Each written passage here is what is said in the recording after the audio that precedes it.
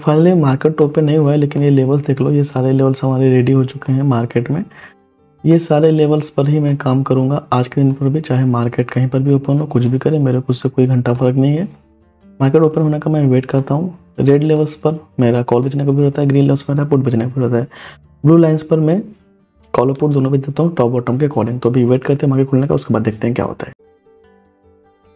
तो चलता हूँ, अभी देखो पुट पे लेता हूँ। थोड़ा सा स्टॉप लॉस बड़ा है तो सेल कर दूँगा।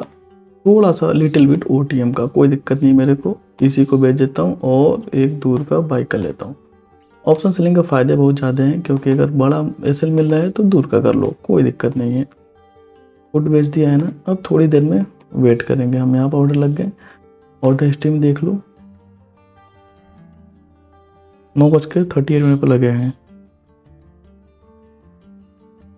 और मार्जिन भी देख लो भाई। मार्जिन लगा है एक लाख तैंतीस हज़ार, ठीक है?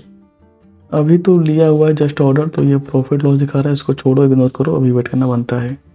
अभी देख सकते हो अभी मार्केट थोड़ा सा ऊपर जा चुका है। मार्केट देखो, जब तक ये ब्लू लाइन्स या रेड लाइन्स पर नहीं आएगा, तब तक मेरा जो व्यू है वो डाउन का नहीं होगा। ऊपर की तरफ़ आकर अभी कोई सेलिंग का सिग्नल बनाएगा, तब मेरा व्यू डाउन का होगा। अगर मार्केट यहाँ से मान लो कि थोड़ा बहुत ऊपर चला जाता है उसके बाद मैं अपना ट्रेलिंग करने के इधर कैप लगा सिंपली होल्ड कर लूँगा ताकि मेरे को कोई भी दिक्कत ना हो। बाकी अभी वेट करना बनता है, अभी की बात करोगे आप तो अभी 200-300 का प्रॉफिट चल रहा है, कोई बात नहीं है वेट करते हैं। तो फाइनली आप देख सकते हो, अभी तो मार्केट क्लोज हो गया है। और यहाँ पर आप देख सकते हो कि मार्केट ने आज हमारे जो हमने बॉटम कर लिया था, वहाँ से मार्केट ने कितना बढ़िया अमेजिंग मूवमेंट दिया है अमेजिंग जैकपॉट लगे हुए हैं। आपको क्या लगता है कि आज मेरे को कितने का प्रॉफिट होना चाहिए? दो हज़ार, चार हज़ार छः हज़ार, कितना का? ठीक है। लेकिन सच्चाई देखो, कुछ आज की और है। ज़रूरी नहीं है कि जो हो, जो दिखता है वही हो रहा है। आओ, मैं आपको सच्चाई से रूबरू कराता हूँ। यहाँ से आप आप देख सकते हो कि आज मेरे को नुकसान हुआ है। जी हाँ गाइज़ ये सच्चाई है। अभी मैं नुकसान के बारे में बताऊँगा कि क्यों हुआ है। क्या रीजन था? देखो मैं निफ्टी का पुट बेचा था मॉर्निंग में ही। उसको बहुत ही जल्दी मैंने एग्जिट कर लिया। ठीक है? अभी मैं आपको दिखाने का ट्राई करता हूँ, मैंने कहाँ पर एग्जिट किया था।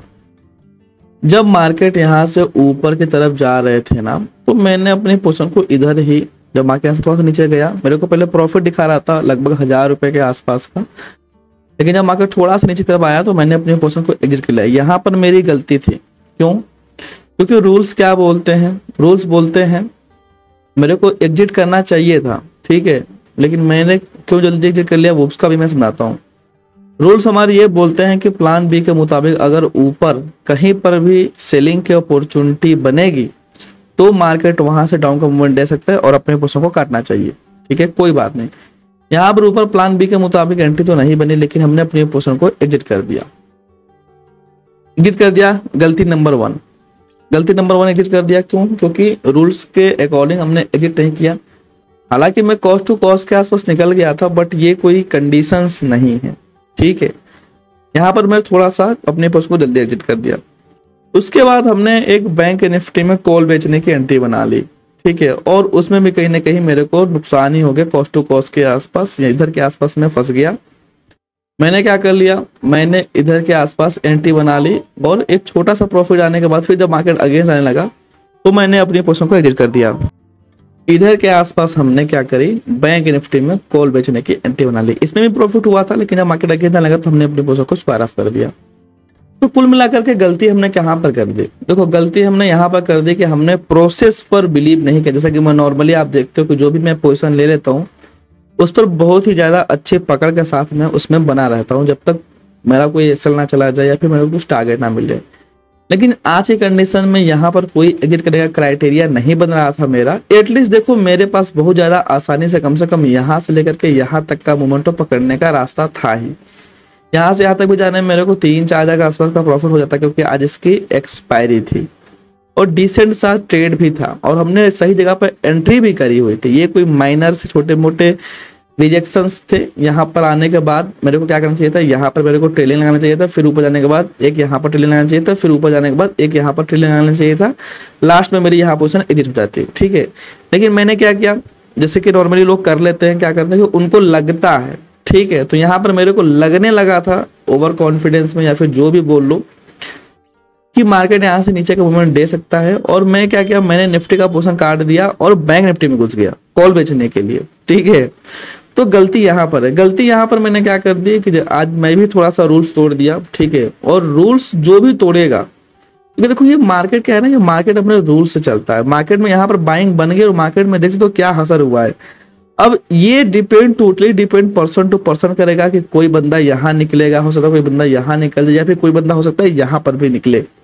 वो उनके अंदर के गट फीलिंग के ऊपर है, वो उनके अंदर के एक्सपीरियंस के ऊपर है, कितना वो प्रॉफिट को होल्ड कर सकते हैं। लेकिन रूल्स के अकॉर्डिंग क्या होना चाहिए था? रूल्स अकॉर्डिंग मेरे को यहाँ पर निफ्टी में पोजिशन करने का एग्जिट करने का कोई लॉजिक नहीं बन रहा था।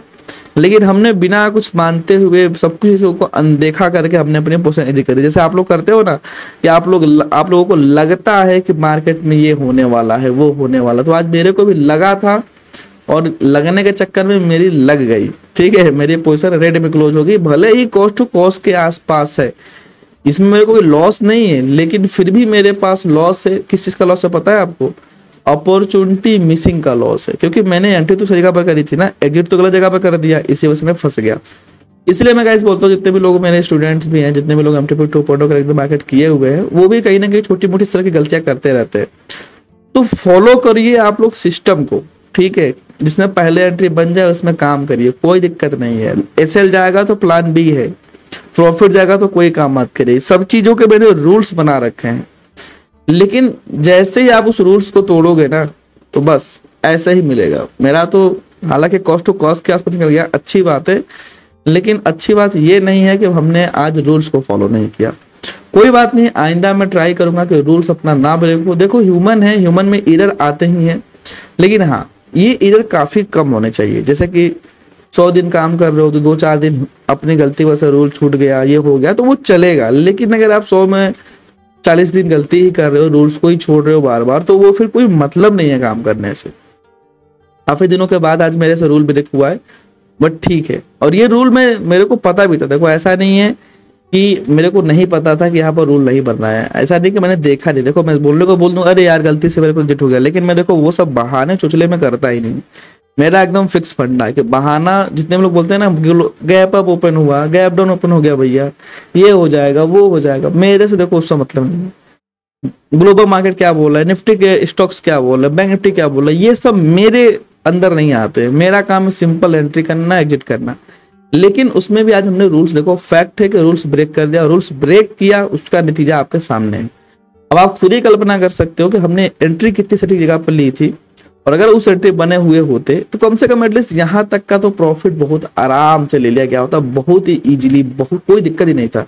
एक यहाँ पर एक बहुत बड़ा डाउनफॉल आया था, उसके बाद फिर मार्केट गया, भले ही इस डाउनफॉल में पोजिशन एग्जिट कर लेना चाहिए था, हो सकता है एग्जिट कर देता मैं ट्रेलिंग की मदद से लेकिन यहाँ से यहाँ तक का भी प्रॉफिट कम नहीं था एक्सपायरी के दिन से। लेकिन हमने क्या किया?